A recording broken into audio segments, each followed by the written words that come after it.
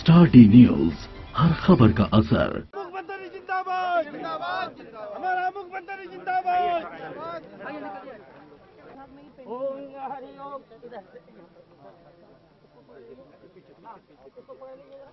हाँ बोलिए बोलिए श्याम रामचंद्र की जय की नाथ की जय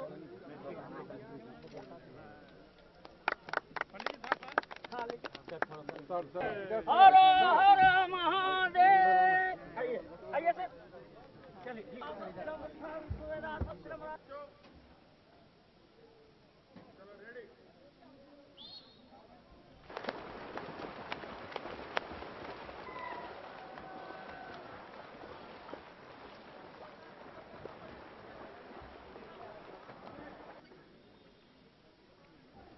शावर का है सर लगातार वो फिल्टरेशन सिस्टम में ही वही पानी पानी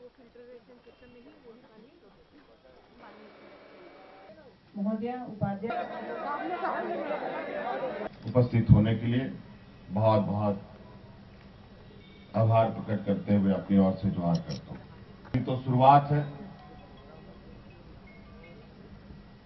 हाँ ये बात सही है। कि दुमका संथाल परगाना हमारा कर्मभूमि है। और दुर्भाग्य से ये क्षेत्र पिछड़ा भी बहुत अधिक है। कई मायने में, चाहे वो शिक्षा हो, स्वास्थ्य हो, और सभी चीज़ें। अभी बहुत बातें रखने की आवश्यकता नहीं, और मैं भी जहाँ बातें रखनी है, वहाँ बातें रखी जाए, जहाँ काम करने की आवश्यकता है, वहाँ सिर्फ़ काम किया जाए। मेरा ये मानना अभी हमें काम करने की जिम्मेवारी मिली है। वैसे तो आज शहर में, यहाँ के शहरवासियों को, यहाँ के लोगों को एक स्विमिंग पूल मिला है।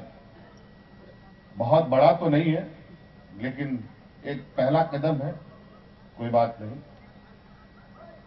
बहुत सारी चीज़ें कड़ी जुड़ती जाएँगी, जुड़ सकती हैं इससे भी। मुझे यहाँ आने के बाद पता चला, थोड़ा ध्यान नहीं दे पाया था मैं कि किन किन कार्यक्रमों में जाना है। वाटर पार्क या कुछ इस तरीके का मुझे किसी ने बताया तो मुझे लगा कि ये डैम के आसपास ही कहीं कोई कार्यक्रम है। लेकिन ये बीच शहर में था, इसकी जानकारी नहीं थी।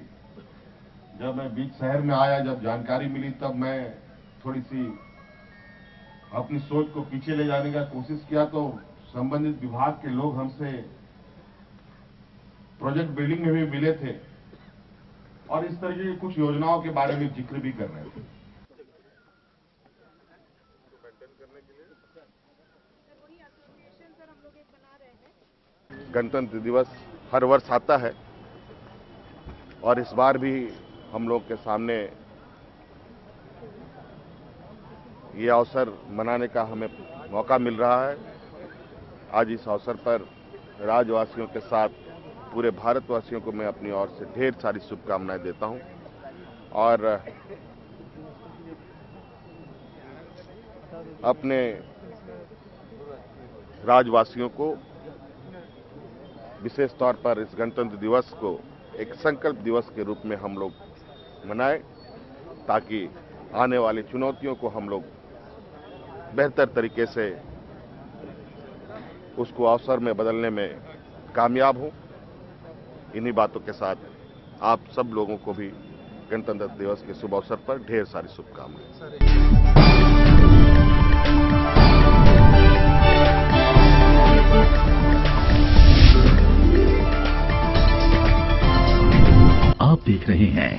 स्टार डी न्यूज़ हर खबर का असर।